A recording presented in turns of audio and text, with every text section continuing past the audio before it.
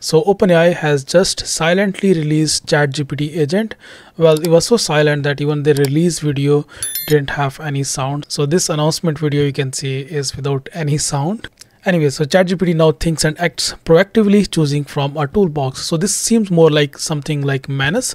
If you don't know about Manus, Manus was an AI agent which was released a few months ago. So this will be basically a general AI agent that can actually schedule meetings for you, that can actually like plan your trips and like book your trips as well. You can even provide your credit card information as well. I'm not sure if I'm gonna do that at this stage, but yeah, you can do that totally. You can also connect it with your Gmail and it can review all of your mails. And similarly, you can connect it with your calendar as well. It can also analyze data and then create like powerpoint presentations. So all of these features are already that we have in manus. So yeah i don't know why i'm trying to compare it with manus but yeah this is what we can expect from gpt apparently it should be available to all of the pro users today. So if you're not aware pro subscription actually costs 200 gbs per month. I mean i am good. I don't want to subscribe to this pro plan to access this chat gpt agent but yeah i mean it will be available for plus users as well in few days.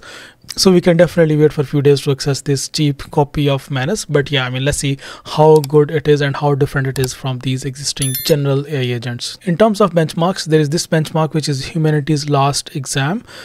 And in this ChatGPT agent is competing with deep research with OpenAI O3 and other OpenAI models. Then similarly, it is competing other OpenAI models in frontier math as well. So there is this another benchmark which is called DS Bench, which is for data science tasks, and you can see it is competing with O3 Mini in this benchmark. So yeah, if you're a pro user, you can just go ahead and access it right now.